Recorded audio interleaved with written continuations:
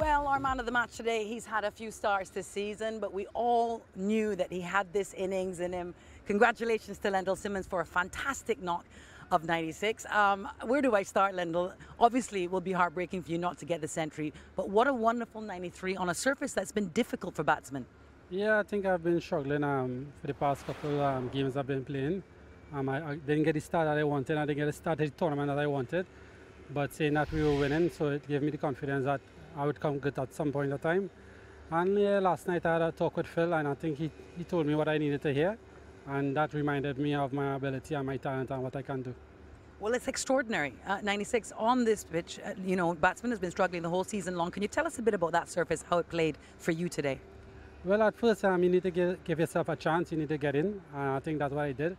I gave myself a couple of balls to get in, and, and at the back end, I started to blast, blast it off. But at first, it's really tough at first to, to, to get a start. Um, you had a nice uh, long partnership there in the middle with DM Bravo. yeah, I think um, I bat well with Bravo, I bat well with Pollard. Um, we all grew up playing cricket together, so I'm accustomed batting with these guys, and we all understand each other, so it was easy for me. It was the last over. You, you only had uh, six runs to get. Talk me through that moment. Well, I had three 90s in CPL so far, and um, I was really looking at iron 100 this game. Um, last over, I think I would get a six, I would get a boundary. I was looking for it. It didn't happen. So I guess I have something to keep looking forward to. Um, we have some games coming up, and I know got get some form, so I'm looking forward to that as well. I know you've pleased the TKR fans today. You certainly pleased your captain. I saw him whisper something in your ear just now. Can you tell us what he said? Yeah, he said, um, congrats, um, your form is coming back. And I know I always had form, I just wasn't executing my plans.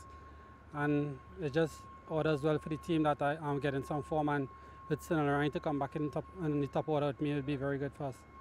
Uh, Lendl Simmons, TKR didn't have a great year last year, a perfect season so far this year. You feeling the pressure yet? Um, we have played unbeaten so far and we haven't lost any games. So we're playing good as a team. Today we didn't play our, our best 11, but it just goes to show our men on the bench are just as strong as the ones who are playing, and we win very convincingly today. I must say I'm proud of the guys.